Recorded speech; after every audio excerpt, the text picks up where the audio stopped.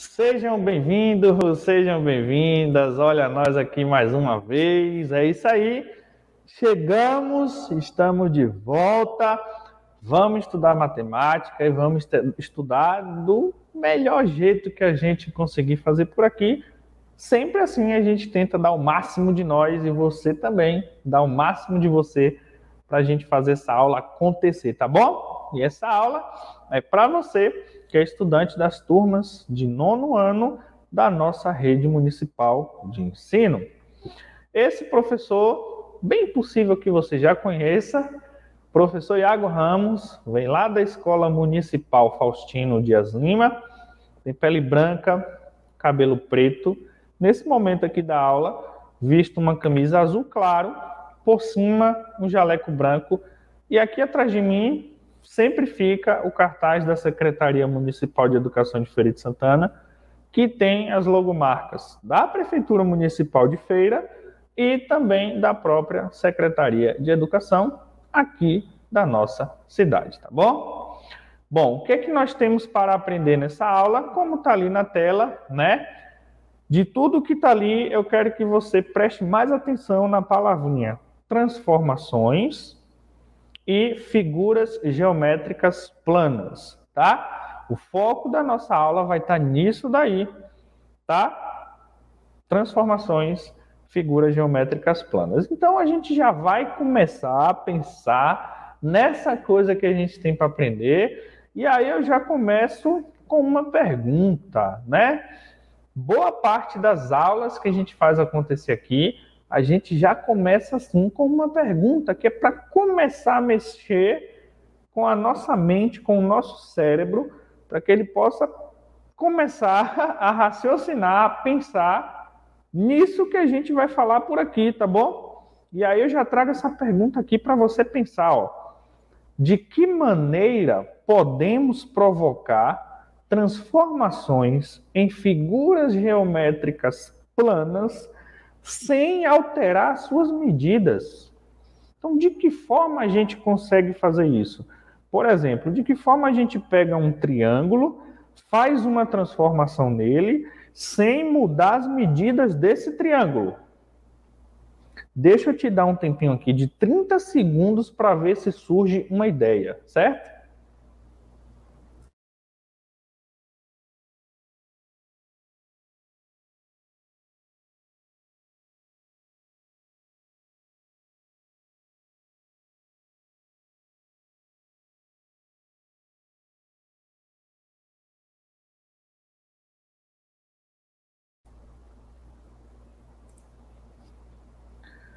Bom, e aí?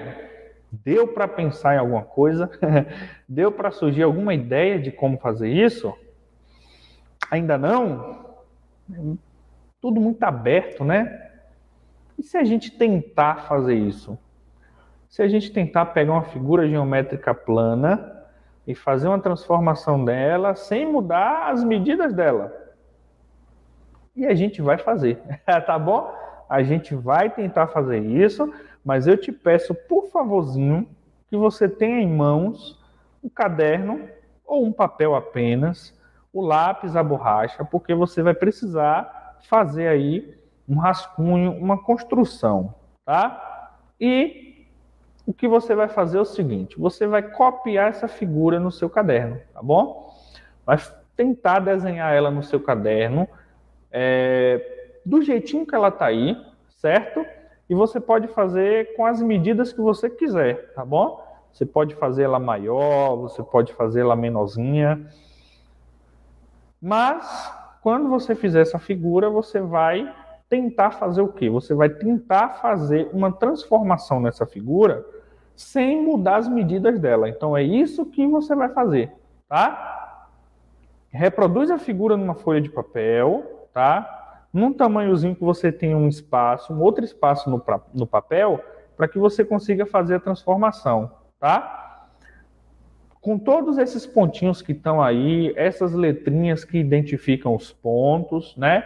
Os pontos são os vértices, então copia desse jeitinho, tá? E depois de copiada, tenta fazer a transformação. Deixa eu dar mais um tempinho para você aí, mais uns 30 segundos O tempo que eu estou falando aqui, você está fazendo a cópia dessa figura, certo? E aí, depois disso, vamos ver do jeito que, é que como é que a gente faz essa tal dessa transformação sem mudar as medidas, tá bom? Vamos lá, só mais um tempinho para dar tempo. Eu acho que bem possível que você já tenha terminado. Será? Conseguiu terminar? E aí?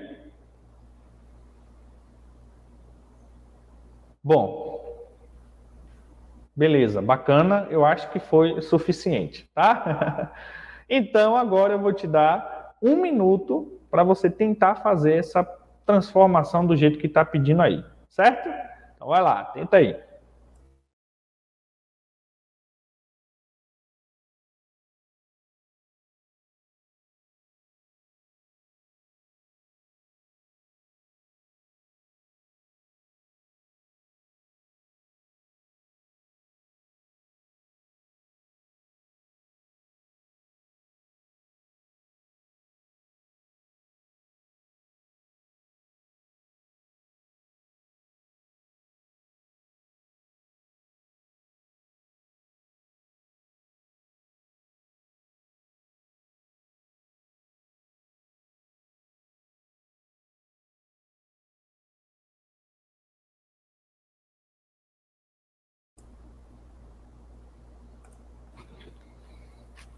Prontinho. E aí, conseguiu fazer essa tal dessa transformação que está aí? Sim ou não? Calma, que já já eu mostro como é que isso vai ser feito, tá bom? Porque antes disso eu tenho outra pergunta para você, certo?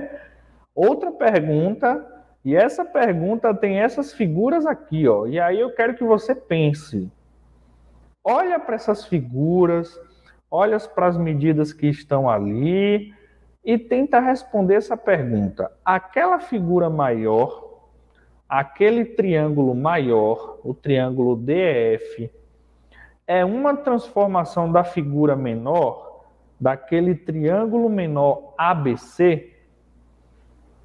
Olha as medidas, olha no que a gente vem pensando até aqui e tenta responder essa pergunta, mas pensa um pouquinho nesse tempinho aqui de 30 segundos, tá bom?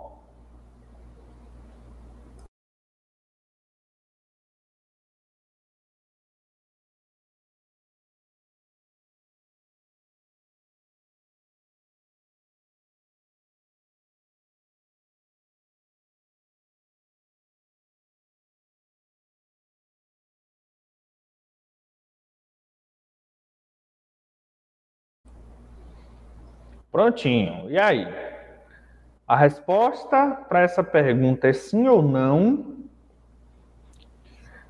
Calma, que já já também eu vou trazer uma resposta para essa pergunta, tá? E já vamos então ver os resultados para essas coisas que eu pedi que você fizesse, certo? Primeiro foi a transformação sem mudar as medidas de uma figura. Olha só o resultado disso, ó. Aqui a gente tem uma transformação e essa transformação não muda as medidas da figura. Uma eu estou chamando de F2, figura 2, a outra eu estou chamando de F1, figura 1. Então, a figura 2 é a transformação da figura 1 que eu pedi para você copiar. É uma forma de fazer a transformação dessa figura. Uma forma, tem outras, tá? Mas aqui eu tenho um tipo de transformação acontecendo. A figura 2 é a figura 1 um transformada sem, sem mudar as medidas da figura. Como assim, professor? Se eu medir esse lado aqui ó, da figura, que vai do F1 até o E1, tem uma medida. Essa mesma medida é a medida do E2 até o F2, não muda. E isso acontece com todos os lados aqui, todos, todos e todos, tá bom? Então tá aqui uma transformação sem mudar as medidas, certo? Daqui a pouco a gente vai, um pouquinho mais na frente dessa aula, a gente vai entender esse tipo de transformação. E o outro caso que eu pedi para você tentar achar uma resposta foi para esse aqui, ó. aquele triângulo maior não é uma transformação do triângulo menor. Porque a transformação que eu estou trazendo para cá é uma transformação que as medidas da figura não mudam. E a gente vê ali ó, que do triângulo menor para a maior mudou as medidas. Tá? Tá ali as medidas direitinho. Se a gente para e olha ali, ó, a gente vê que o grande, né? Claro, é óbvio que não vai ter ali as mesmas medidas dos lados da figura menor. Mas aqui a gente tem um caso de semelhança. O triângulo maior é semelhante ao triângulo menor, tá? E nós estudamos semelhança de triângulos, tá? E vemos que há três formas de saber se triângulos são semelhantes ou não. Nós tivemos uma aula para isso e foi a aula anterior essa daqui, tá? O que é que eu quero fazer você entender até esse momento da aula? A gente não vai fazer confusão entre fazer transformações e ver se as figuras são é, semelhantes, tá? As transformações que a gente está trazendo para essa aula que as transformações que mantêm as medidas da figura não podem ser confundidas com o caso de semelhança entre as figuras. A gente estudou semelhança de triângulos, tá? Mas teve uma parte dessa semelhança de triângulos que a gente viu como fazer, como encontrar semelhança pensando em qualquer figura, certo? Beleza? Tranquilo. Então eu quero te fazer agora parar aquele momento da aula para você se perguntar assim, ó, até aqui, até onde o professor trouxe aqui o assunto, o quanto foi que eu entendi? Então eu trago ali para você quatro opções para você pensar. Se você entendeu pouco, número um, dois, metade, três, maioria, quatro, bastante. A gente sempre usa esse parâmetrozinho aqui, mas calma, não chuta assim, não fala assim rapidinho sem pensar. Reflete primeiro, tá? Como você conseguiu se comportar até aqui, e aí nesses 30 segundos você escolhe aí, né? Pensa, reflete e escolhe ali o seu número, tá?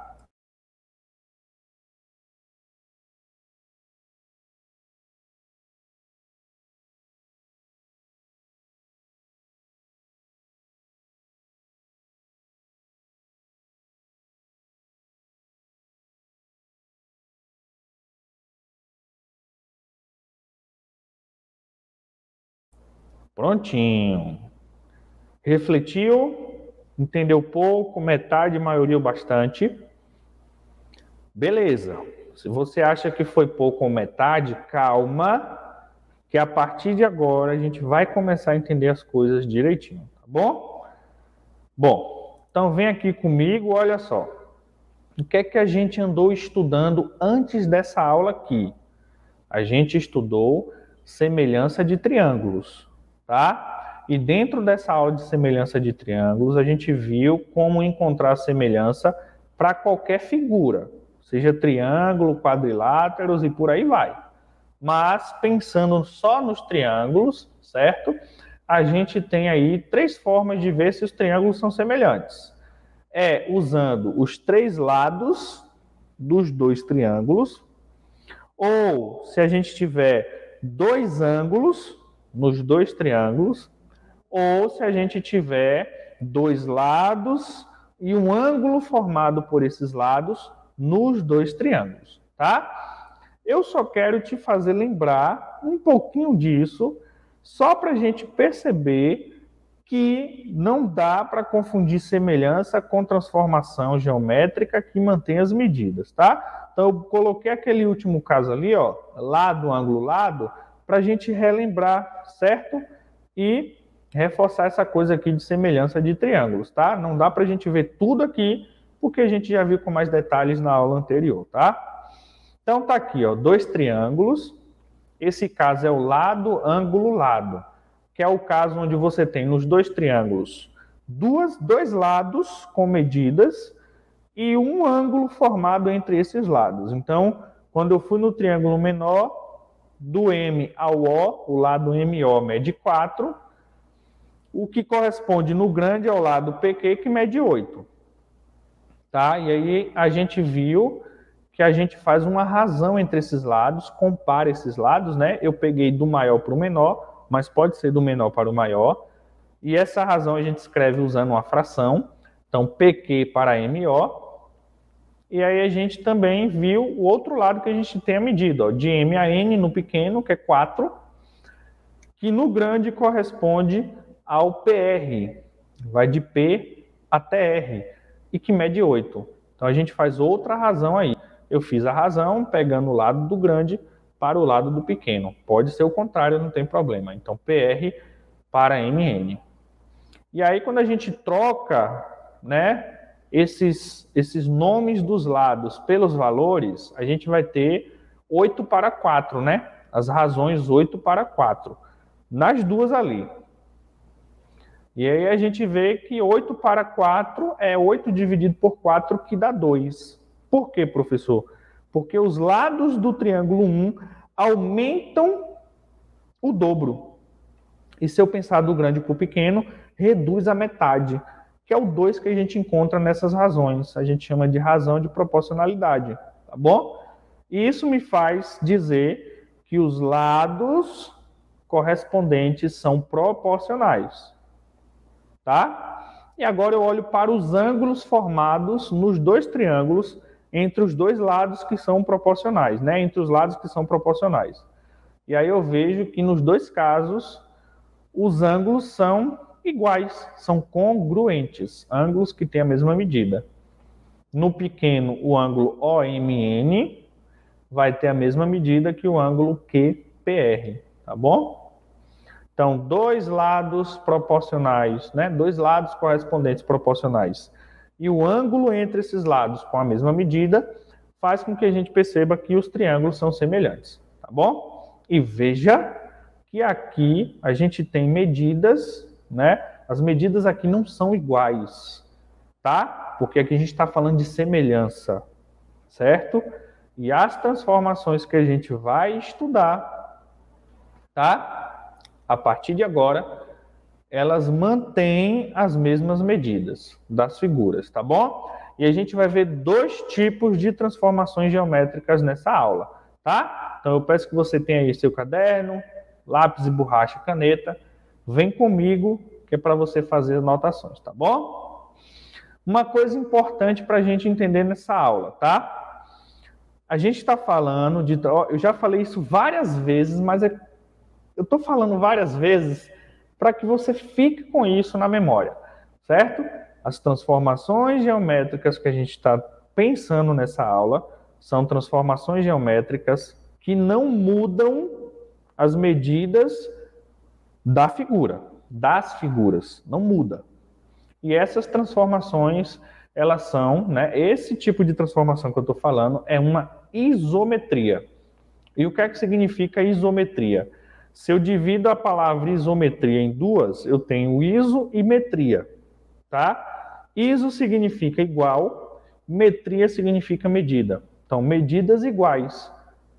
Ou seja, as transformações geométricas que a gente vai estudar são transformações isométricas. Por quê? Porque quando a gente transforma a figura, as medidas continuam iguais, elas não mudam, elas não sofrem alterações. Deu para entender isso? Tranquilo? Beleza? Ótimo. Então vamos avançar.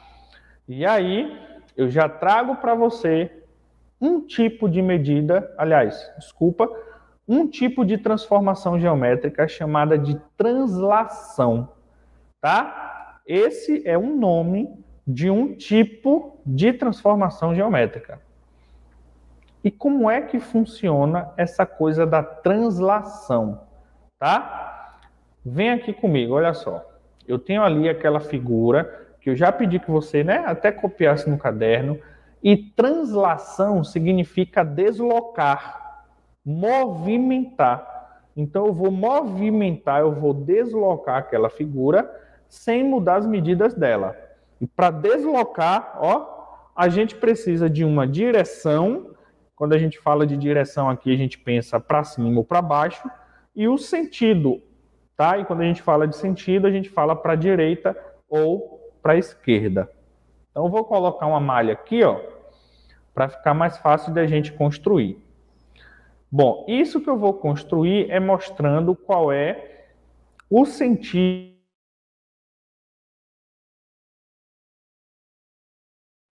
essa setinha aí vai para um sentido da direita. Então eu vou pegar aquela figura, eu vou deslocar ela para a direita uma certa distância. E a distância que vai ser deslocada vai ser o tamanho dessa setinha que foi construída, tá bom? No sentido para a direita. Tá? Então, agora eu consigo fazer isso, ó. Tem uma ferramenta aqui que é translação por um vetor. Vetor é aquela setinha. Então eu clico na figura e clico no vetor, a figura aparece transladada. A figura aparece deslocada, ela foi movimentada para o sentido da setinha.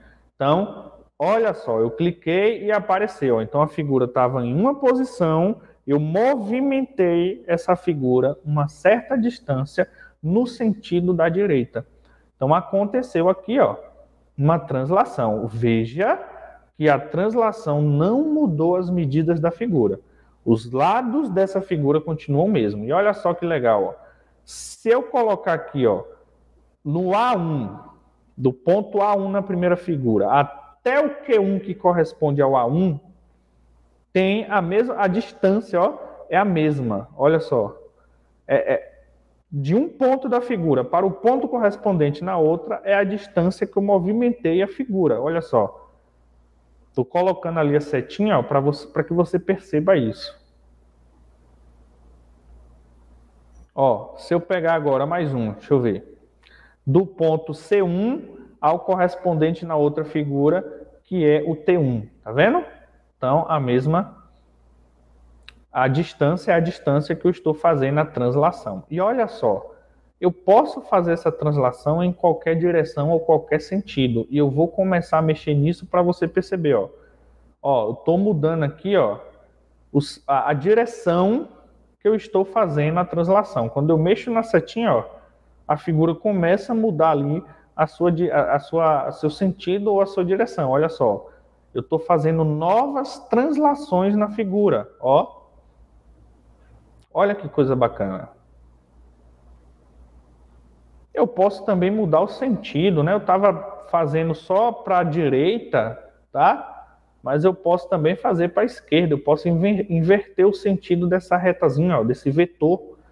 E aí muda o lado da translação, ó. Mas veja, é isométrico. As medidas da figura não mudam. Olha só, olha lá mudando o sentido, né, mudando a direção, ó.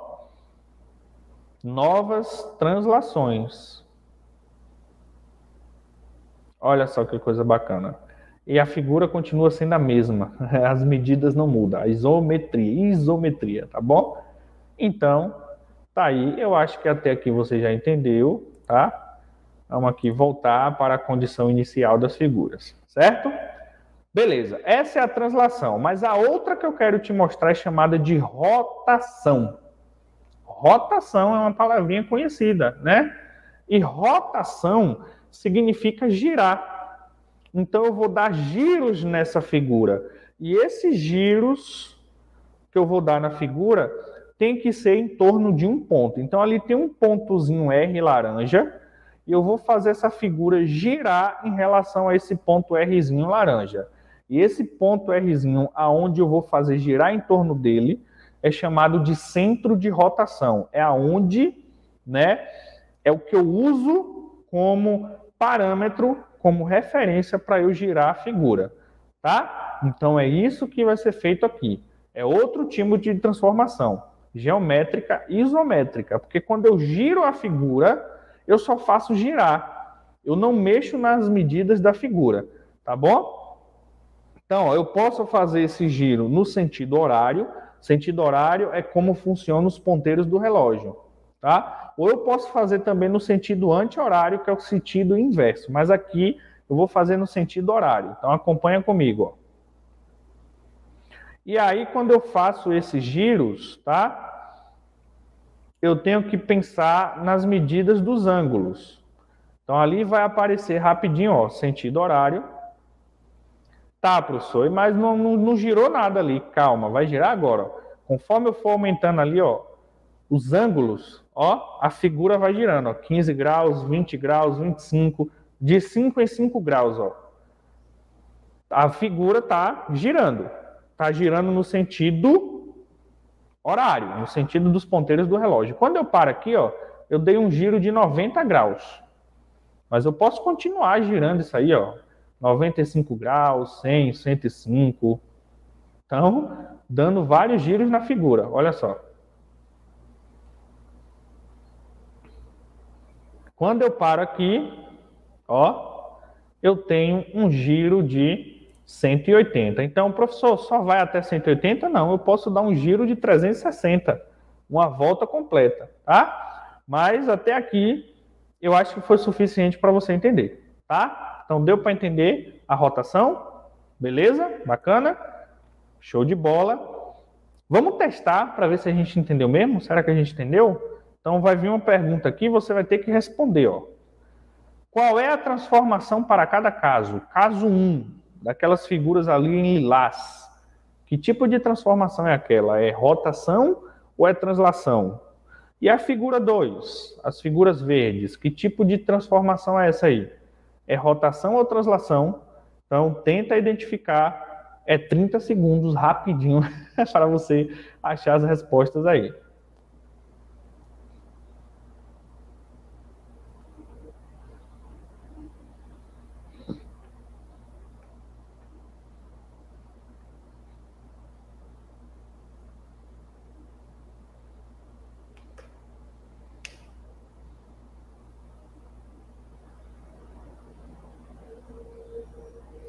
Prontinho, vamos lá, já vamos divulgar a resposta para a gente entender. Olha só. A1, o caso 1 é um caso de rotação, o caso 2 é um caso de translação. Tenho certeza que você acertou, por isso, parabéns, tá bom? E eu vou começar pela 2. Por que, que a 2 é translação? Translação é só movimentar a figura. Do jeito que ela está, você arrasta ela para algum canto. Então a figura estava aqui, ela foi arrastada um pouquinho para cá, ó, né? Para cá. Aliás, isso aqui, ó. É assim ou assim, tanto faz, né? Então só fiz arrastar a figura. No caso 1 aconteceu um giro, ó. a figura foi girando, foi girando, foi girando, foi girando, até o momento que ela parou, né? É, daquele jeito ali. Ela foi girando no sentido horário, certo? Então por isso que na 1 foi uma rotação. Tranquilo? Deu para entender mesmo? Então beleza. É isso aí. Vamos avaliar para ver como é que a gente entendeu, o que é que a gente entendeu nessa aula. E eu sempre faço você pensar nisso através de uma pergunta, e a pergunta dessa vez é: se eu fosse elaborar uma provinha de matemática com o assunto dessa aula para você responder, o que é que você queria que estivesse nessa prova? Então, quando você for pensar nisso, você vai ter que lembrar das coisas que você viu aqui, tá? Então, essas lembranças vão te dizer onde foi mais fácil, mais difícil, onde teve mais dúvida, onde teve menos dúvida. E tudo isso aí você está fazendo uma avaliação do que você aprendeu e de como você aprendeu, tá bom? Espero que você tenha curtido a nossa aula. Nós aqui curtimos bastante. Muito obrigado, tá bom? Por estar aqui conosco. Mas a gente vai ficar por aqui, certo? Desde já até a próxima. Não esquece que matemática nunca foi problema matemática sempre foi solução, tá bom? Então é isso aí, valeu, bye bye.